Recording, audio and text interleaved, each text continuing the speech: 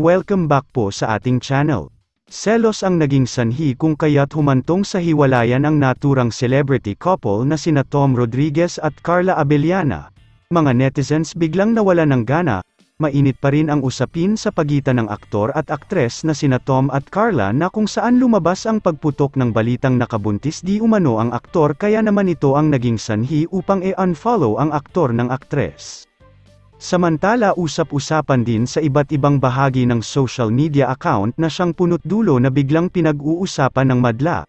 Ayon sa iba pang mga marites ng social media third party umano ang dahilan kung kaya't agaran namang nakipaghiwalay agad ang aktres.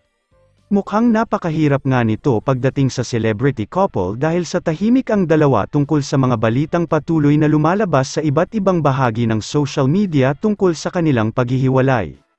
Samantala bigla namang nawala ng gana ang mga netizens sa naturang celebrity couple na kung saan hindi pa nga hinog ang bawat isa sa kanila bago ito nagpakasal.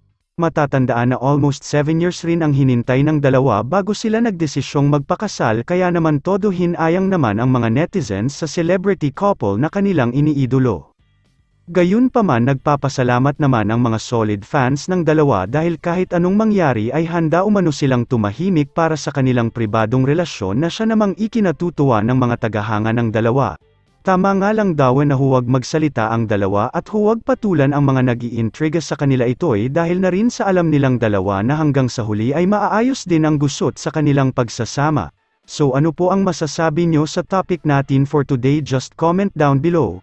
Maraming salamat po.